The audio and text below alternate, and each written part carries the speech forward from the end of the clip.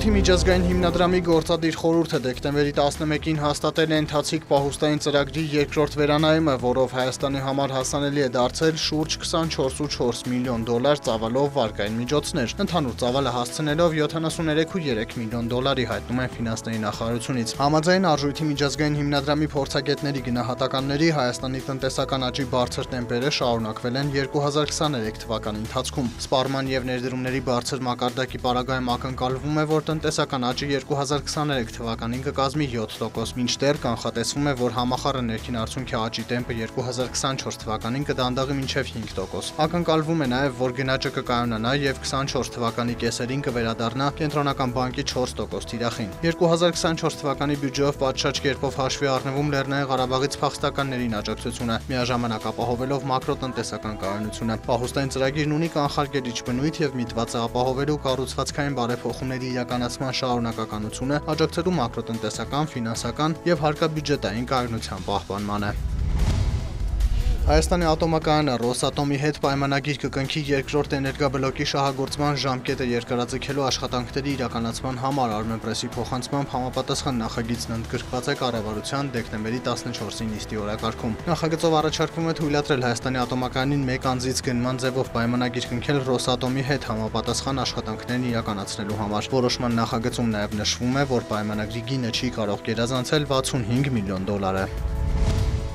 ֆինանսական խրախուսման նոր հնարավորություն այն գործատուների համար, որոնք աշխատանքի կընդունեն անփորձ մասնագետներին։ Հունվարի 1-ից մեկ անձի համար 500.000 դրամ աջակցություն կարող են ստանալ սննդի ոլորտից մինչև հագուստի ու կահույքի արտադրություն իրականացնող արդյունաբերական ընկերությունները։ Աշխատանքի ընդունվողը պետք է նախորդ 3 տարում աշխատած չլինի մշակող ճյուղում, պահանջը չի տարածվում արցախցիների վրա եթե արտադրություն է եւ 5 հոգի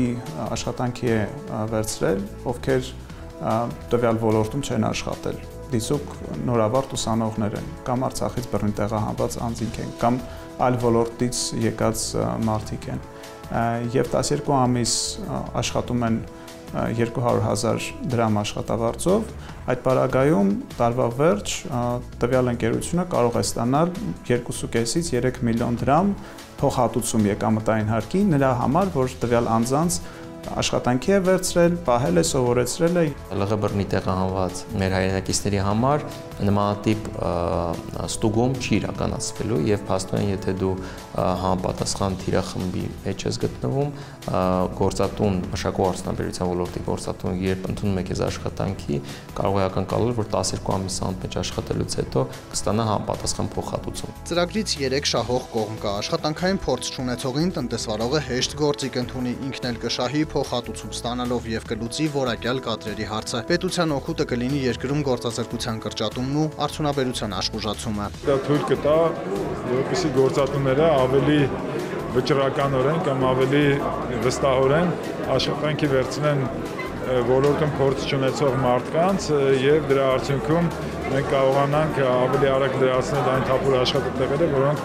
այսօր կան բազմաթիվ ընկերություններում։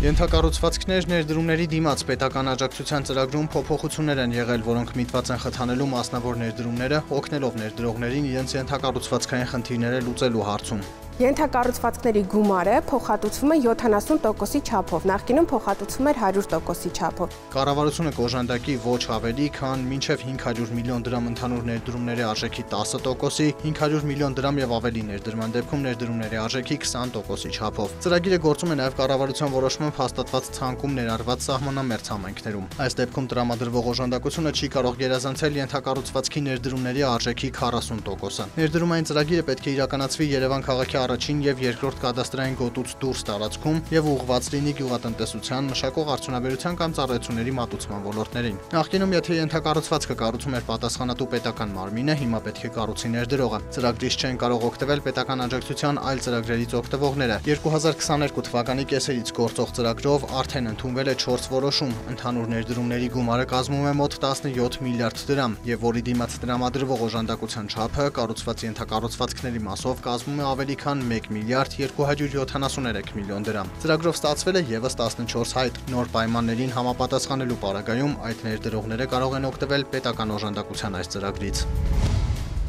Լոնդոնի եւ Նյու Յորքի բորսաներում էլեկտրոնային առևտրի ընթացքում նավթի համաշխարհային գներն աճել են։ Լոնդոնի բորսայում Brent ապրանքանիշի փետրվարի մատակարարումների ֆյուչերսների գինը նախորդ օրվա բորսաների փակման պահի ցուցանիշի համեմատ աճել է 0.2%-ով, կազմելով բարելի դիմաց 73 դոլար 41 սենտ։ Նյու Յորքի ապրանքային բորսայում WTI տեսակի նավթի հունվարի մատակարարումների ֆյուչերսների գինն աճել է 0.2%-ով, կազմելով բարելի դիմաց 68 դոլար 76 սենտ։